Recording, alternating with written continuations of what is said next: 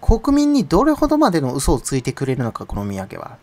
費用の面でもごまかしてますよね。大手メディアには建物費用26億円でした。以上、終わりみたいな記事を書かせてましたよね。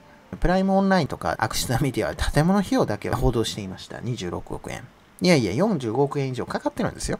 しかも、この45億円だけじゃなくて、たくさんのですね、改修工事が合格書が公表された後も、ベルサイユ宮殿が公表された後も、されてるじゃないですか。軽く45億円以上平気で言ってると思いますし、このプロセスにおいて上皇后様が赤坂東店に入られずに、銭湯仮御所で暮らされました。そこでね、高額リフォームで5億円以上やってるわけですよ。高輪の皇族邸ですけどね。なんで高額リフォームをしたかっていうと、赤坂東帝王で A 宮に選挙させてです、上げて女性宮家とかが視野に入っているから、家がいっぱいいるわけですよ。孫内親王家、えー、並びに過去内親王家のためにね。で、赤坂東帝王、明け渡さないといけない。そういう考えられて、高輪の皇族邸をリフォームされて、皇族の共有の邸宅としてしまったのかなと。高輪の皇族邸も最終的にはエミアのものになるかもしれません。そんな気がしてますよ。狙ってるんじゃないのかなと思いますよ。エーミア家だけで回してやるっていう魂胆が見え隠れしてるわけですよ。内親王家なんてそうじゃないですか。内親王家っていうのは、内親王限定の女性宮家ですよ。誰が一番得しますか？エーミア家の細胞分裂ですよね。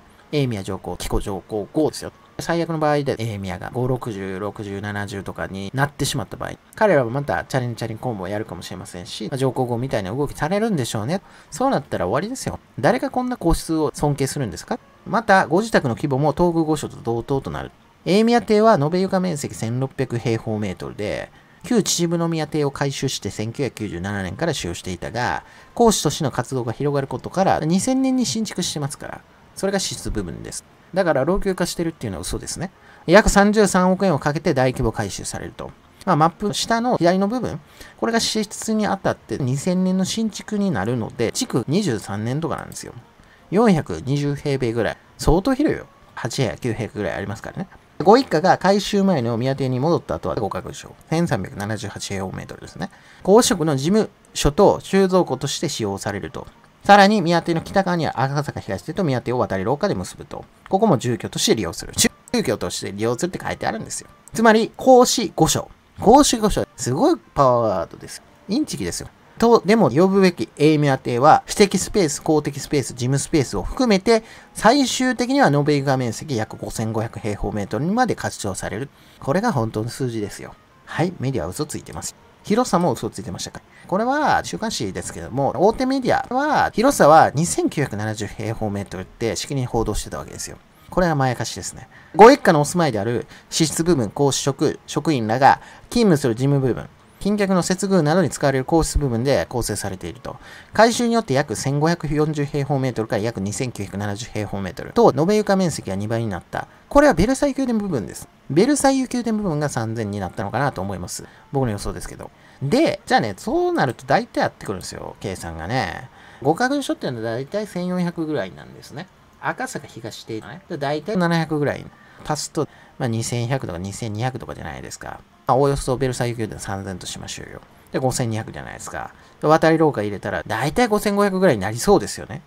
これ本当の数字なんじゃないですか最初積まれたのはこれなんでしょで、国民の反発が強すぎるから、だから五家所を事務所として切り分けて、騙して建てたんでしょこれ詐欺ですよ、これ。で、赤坂東も共用の邸宅として使用できますよって嘘を吐いてるわけですね。おそらく赤坂東邸は占拠されたままだと思いますよ。現陛下の皇居の御所、超えるんですよ。で、陛下は8.7億円しかかけてないです。延べ床面積5290平方メートルに対して5290ですよ。超えてるんですよ、だから。二重権威そのものでしょ？ありえないと思いますよ。どちらが主役や？代替わりに伴って上皇ご夫妻にお住まいから天皇ご以下の改修された皇居旧吹上戦闘御所。これは上皇后様のお風呂なんですよ。しかしながら、エミヤは入らなかった。5290もあるのに8.7億円しかですね、かけてないんですよ。エイミア45億ですよ。なんなん？この違い。極めてですね、質素だと思うんですね。無駄な部分にですね、お金使ってないですよ。で、エミアどこに金使ってるんですか、ね、指定部分にもっと金曜とか言ってんじゃないですか大宮の御所もありますけども、これは、まあ、見て子が、あの、高順皇帝への復讐として幽閉したんですよね。お月の職員様すごい少なかったと思います。しかも、もう宮内庁発表ですけど、高順皇帝様は認知症であると断言してるんですね。その写真を見してるわけですよね。残酷だなと思います。一緒に住めばいかがだったんですかっていう批判も大きくありました。ね、なんで同居しないのとか。しかしながら、美智子は高順高等認知症を理由にして56億円の邸宅を建てたわけですよ。なおかつ、まあ同じパターンが使われていて、上皇様の認知症を使ってお忍びの理由付けにしたり、ただ旅行したいだけだろネムの木の跡地行ったらしいですけども、それは正立邸の邸宅じゃないですか、もともと。ゆかりの地行きたいだけだろ。なので、火を極まりないなと。永宮家全員功績剥奪もそうですけども、やっぱり上皇后家ですね。まあ、上皇后家って言ってもいいと思います。もう、実質上そうです。骨抜きにされちゃってますから、上皇陛下は。これ極めて残念ですけどね。なので、そちらも多分ね、まあ、上皇后家全員功績剥奪も、まあ、言われかねないなと思うわけですよ。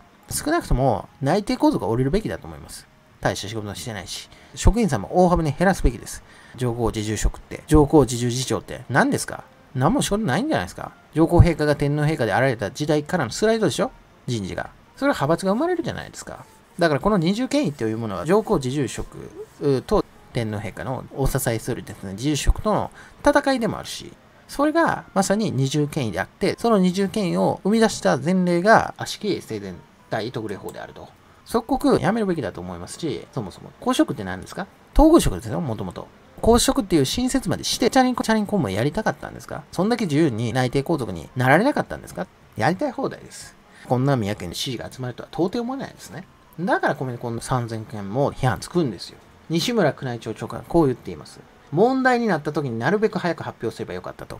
公職大部のですね、佳子さまは永宮邸に住まれていない発表について問われて、と。西村宮内庁長官は定例の記者会見の中で、先月ね、公職大部が行った次女の佳子さまが、改修工事後の永宮邸に住まれてないという発表について問われ、タイムリーな発表ではなかったという認識を示して、問題になった時になるべく早く発表すればよかった。まとめるのに時間がかかったと聞いていると思いましたと。まとめてないやん。まとめるっていうのはどれだけ節減されたかっていうのも出してもらわないと困りますね。8億増えてるんですから。節約なんてしてないでしょ。まとめるのに時間がかかった理由については承知していませんと述べて、公職大部から考えがまとまったので発表します聞いたとして、当初のご一家で引っ越すという説明が違ったことについては、結果的に違ったことについて反省すべきだと思いますと述べましたと。エイミア邸についてはね、公職大部が先月30日の定例記者会見の中で、改修工事の際に佳子さまと長女の小室眞子さんの部屋は作らずに、佳子さまはご一家が仮住まいしていた分室に住み続けられていることなどを発表していました。分室っていうか室部分なんじゃないんですか？そういうふうに見えないですけどね。事務所部分と支出部分なんじゃないの？それは将来の過去内親王家に向けての邸宅作りなんじゃないの？だからこんなかけたんじゃないの ?10 億円もの邸宅は明け渡すとは思えないですけどね。十分じゃないですか、ベルサイユ宮殿があるから。これは多分嘘であって、合格者はそもそも過去内親王家に向けての布石だったんじゃないのかなと僕は思います。コメント読んで終わりましょうか。いかに天皇ご一家がしっかりされているかがわかります。格の違いを感じさせられますね。令和時代が末永く続きますように。まあ、そうですね、本当に思いますよ。西村もダメですね。職員の玄関とは違う、彼女専用の玄関と渡り廊下を追加工事するというのがおかしい。最初の計画からそうだったなら追加が発生するのはおかしく嘘だよねということになります。渡り廊下専用の玄関だけじゃないと思いますよ。僕はね、工事続いてると思ってますから、完成って言ってますけど、中断された状態であると。元々のベルサイユ宮殿プランを進行し続けてるんじゃないのかなと僕は思ってますね。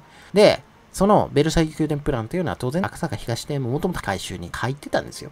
資料見たらわかりますけど、なおかつ、ご家書も同じように別口で進めてるんじゃないんですかだから現在進行中だと思うんですね。だからこれから出てくるニュースとしては、さらなる追加回収工事か、みたいなのは結構出てくるような気がします。それはもう火に油を注ぐ結果となって、この宮家はどんどん落ちぶれていくんだろうなと思いますけどね。そうなったらやめていただけませんか？もう退位いただきたい。うん、無理ですよね。あなたが支持率回復する方法はもうたった一つです。退位することしかないです。僕はそう思います。はい、以上です。じゃあ、近くバイバイ。さよなら。